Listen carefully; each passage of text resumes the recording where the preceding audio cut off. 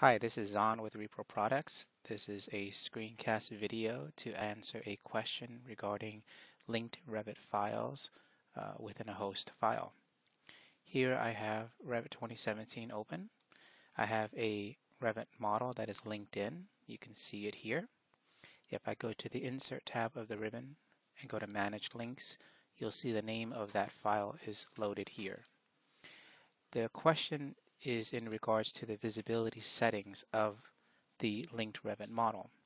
If you open up Visibility Graphics dialog box and head over to Revit Links tab, you will see the name of the Revit linked file. You have the ability to control how that Revit linked file appears either by host view or if you click inside and change it to be by linked view or custom. If you expand, however, the plus symbol, you will see some subset numbers 1, 2, 3, and 4. You have the ability to override those individually as well within each one of these uh, cells here where it says not overridden. The, the numbers 1, 2, 3, and 4 refer to the actual name of each of the instances of the Revit linked file. So this one that is selected under the instance property says its name is 1. If I change this to building A, and I change this one to building B.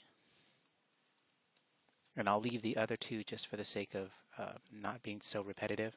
if we open up the Visibility Graphics dialog box, again scrolling down, you'll see that they have been changed to that name. And I can change them individually on how they appear.